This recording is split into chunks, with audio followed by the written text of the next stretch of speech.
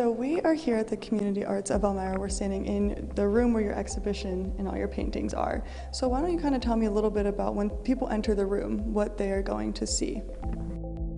Well, starting over in this area here um, and continuing on, there's a lot of, uh, of emotional feelings that I had. So I, I saw it as really uh, self-portraits of my emotions.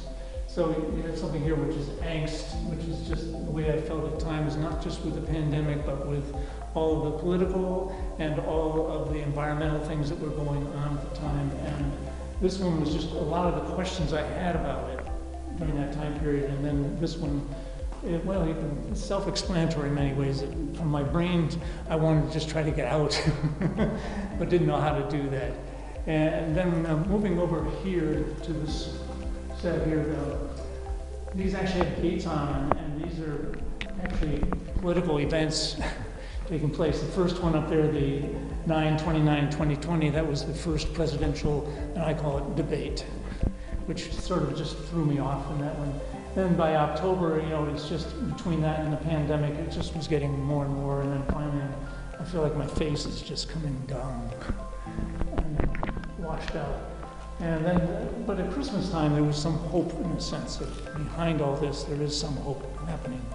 So, um, and then if we want to move over to here, um, this piece right here, I basically, uh, it was just sitting on the easel, blank canvas, and I, I just started putting paint on it, and um, I, I used certain mediums that really helped it flow.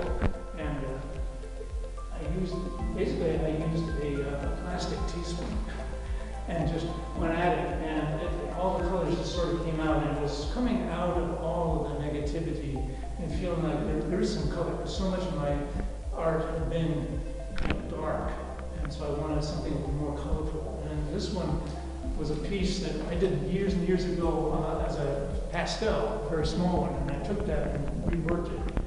And it just, I wanted, I felt peace as I painted it and as I looked at it afterwards. And so it, it again is sort of coming out of all of that we've been through. Not that we're out of it, but we're certainly not the worst parts of it. So. Yeah. Seeing, you know, your artwork start with all of like the dollar colors, like you said, into at least now we're coming towards the light. Just, I mean, what did that feel like, you know, to finally know we're kind of getting out of the worst of it? It's free.